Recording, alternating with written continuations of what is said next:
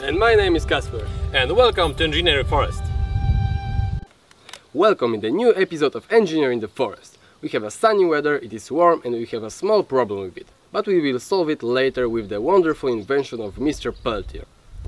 As you see, we took some computer with us. The stationary old one, the laptop and the new Raspberry Pi 4. This small device can replace our big computers. It doesn't deviate too much from these parameters and it's even better. Yep. As you see here, our computer can be powered by Type-C charger, so it can work in the forest with just efficient power bank. We also have here two HDMI connectors that allows you to work with two monitors, you know, like real engineer. And seriously, working with two monitors improves the comfort of our work. Um, maybe do you remember the episode with the engine? Yes, you can easily also use Raspberry for programming the control via those GPIO ports. We can use Raspberry as a media center for a TV that we already fixed because it has dual band 800 802.11 AC wireless networking, what is important, and Video Core 6 graphics supporting OpenGL. Frequent use of Raspberries is also a GameCube. We can create uh, our console for the price. Uh, yeah, the price. Well, the price of Raspberry is constantly uh, through Raspberry Foundation and it's $35. Can you imagine the computer, console and a lot of more for this price? Nope. Congratulations for all the colleagues for really great job. Yeah. Well, we will send a penguin with greetings.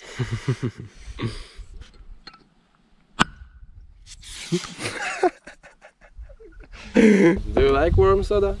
As you see, no. So what? Let's do some fridge in the forest. What do you say? Yeah, I think it's a good idea. Okay, so we have a small prototype of our fridge. We have a Peltier model here from Wakefield. The nominal power of this model is 34 watts. Quite a good parameters for such a small model, yeah? Yeah, for sure. Yeah. We have to somehow extend our power cores. It would be good to cover them, so the forest animals would not chew them. Do you have something for this purpose? Yeah, I have a little bit of leftovers from the construction site, so you know we have to recycle them somehow. Yeah. and we also have uh, alpha wire shrink tubes. alpha wire also produce various types of wires and cables for a wide range of applications, from medicine to robotics. If you need a cable for special industrial application, you will certainly find something for your project or work too. Okay, we have to cover it somehow. Against the axe of the friendly lumberjack will definitely break it, but certainly no mouse will lose it, yeah? Yeah, exactly. Such interesting braids and much more are produced by TE company. TE connectivity products are used in the aerospace, military and defense industries. And an ordinary great citizen can buy it like this? For sure. Great, It's yeah? amazing. Yes. It's mm. so hot, it would be good to finish our fridge.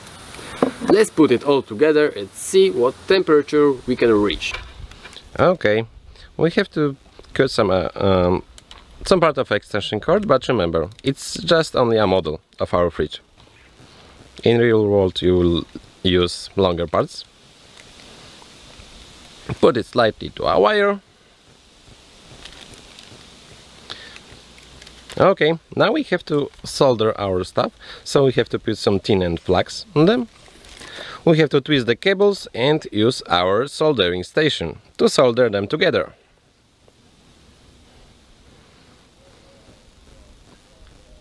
Warm up and do the job.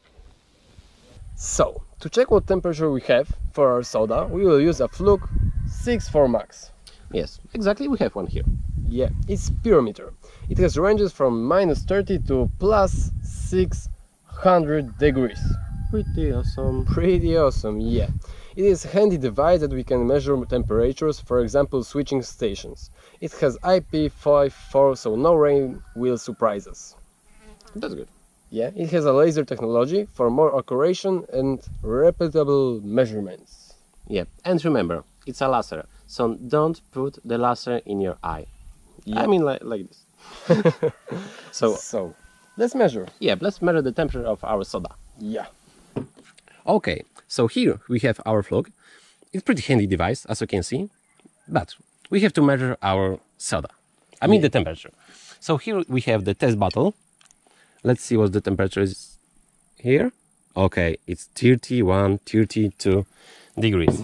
It's gonna be awful in taste. Yes. Yeah. So I cannot imagine drinking soda in this temperature. so let's check how it's going with our fridge.